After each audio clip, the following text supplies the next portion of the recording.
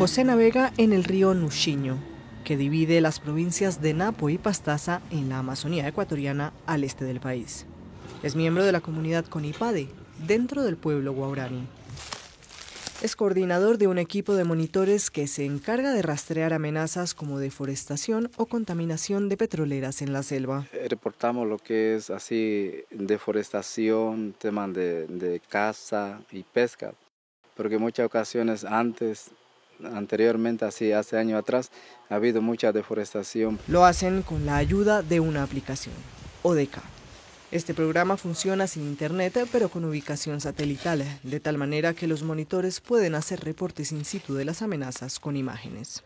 Aunque el equipo de monitoreo lleva tan solo ocho meses, José asegura que la tala ha disminuido y esto genera esperanzas. En el futuro de aquí 20 años queremos tener nuestros árboles, el agua, así, tener algo que sea que sea natural y, y, las futuras generaciones que vienen ellos puedan seguir viendo como nosotros vemos así pescados, así animales, así todo.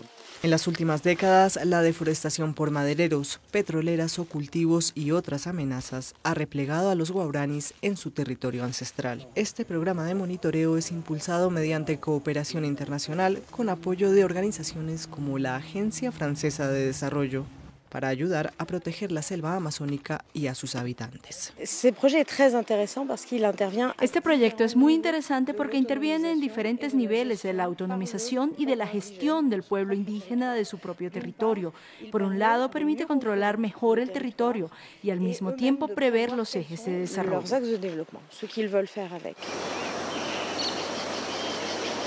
La Fundación Local Ecociencia trabaja junto a la AFD en el proyecto. Su equipo de geólogos lleva años ayudando a monitorear el impacto de amenazas externas al territorio guaurani. Lisette es una de ellas. Ha capacitado a monitores de la selva como José. El proyecto busca que los reportes de agresiones al ambiente no solo queden documentados, sino que ayuden a crear estadísticas y a conocer los puntos del territorio donde se presentan más amenazas y cuáles de estas son las más recurrentes. Así, estos conocimientos también llegan rápidamente a las autoridades indígenas. Esta información nos ayuda a poder dirigir a nosotros el trabajo como técnicos eh, de hacia dónde se deben de poner las principales miradas, eh, a tener conclusiones rápidas de qué es lo que está pasando en el territorio, pero sobre todo para que sean los líderes quienes a través del conocimiento de lo que ocurre y dónde puedan tomar mejores decisiones. Las autoridades locales son las que deciden qué castigos aplicar a quienes vulneran la selva, toman acciones de prevención y también pueden acudir a instancias más altas como el Ministerio de Ambiente. Para nuestro país es importante el que se reconozca primero que también los indígenas pueden aportar eh, con monitoreo, con con un trabajo en campo, que esto es muy difícil que lo puedan realizar instituciones como el Ministerio del Ambiente, que no pueden estar todo el tiempo en el territorio. El proyecto en el que cooperan Ecociencia y la Agencia Francesa de Desarrollo también fomenta actividades económicas sostenibles, como cultivos de cacao, yuca o bambú.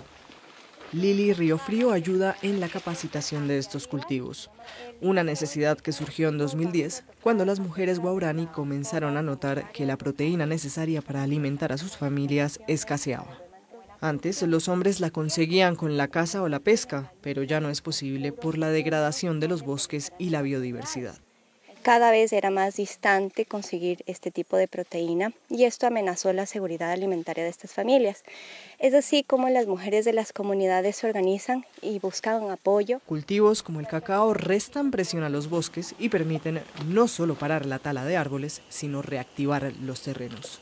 Sergio ha sido uno de los líderes locales que se ha capacitado en la producción de cacao. Eh, mientras tiene su producto de cacao, eh, vende su cacao y tiene su ingreso para ayudar a sus hijos y también para el sustento de la familia. A raíz de la producción de estos cultivos, la comunidad también ha creado un centro de acopio liderado por mujeres.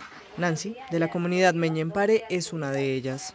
Ha sido muy importante como mujer tener donde que las otras mujeres vienen a vender y estar ahí ayudando para que mejoren su calidad de vida. En unos años pasó de ser ama de casa a ser presidenta de la comunidad y de la Asociación de Mujeres Guaurani. En el centro de acopio reciben el cacao que producen otras 60 mujeres, además de otros miembros de la comunidad. Actualmente reúnen mil libras al mes. Aquí el cacao pasa por varias fases de fermentación. Luego es secado antes de ser vendido a comerciantes. El trabajo ayuda a que las familias tengan más ingresos, pero al mismo tiempo cuida la selva. Cuidamos el bosque a través que vendemos el cacao vendemos cacao, no estamos talando todo árbol. Desde la Asociación de Mujeres Guaurani ahora trabajan junto a la cooperación internacional para certificar el cacao con sellos de calidad y poder comercializarlo a mejor precio en los mercados. Orgullosa de su trabajo, Nancy espera que la fundación siga dando trabajo a las siguientes generaciones de mujeres y aportando recursos a la comunidad y que ésta siga teniendo un territorio sano y fructífero en el que crecer.